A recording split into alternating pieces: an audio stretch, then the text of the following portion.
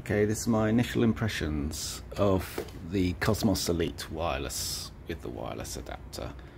Uh, yeah, sound quality is okay, pretty good.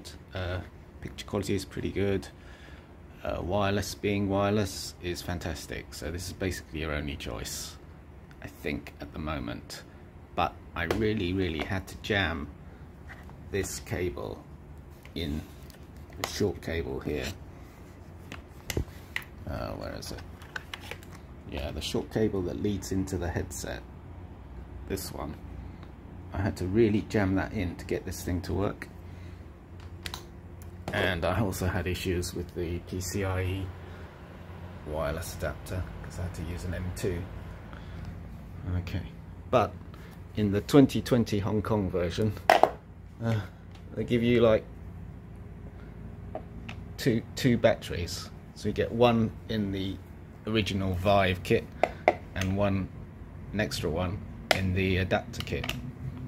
Uh, not so keen on the wands, they're okay. I've modded these so you can use them like the knuckles. So, so because sometimes you don't know which um, hand you're going to be in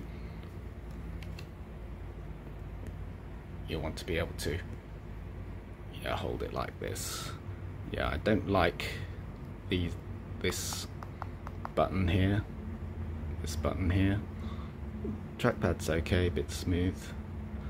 Maybe I'm just used to the Windows mixed reality because the Samsung Odyssey you know controllers while the tracking wasn't fantastic it was okay. Uh, yeah the tracking with the base stations is not too bad uh, but I've got them about 5.6 meters away from each other because otherwise I'd have to start drilling.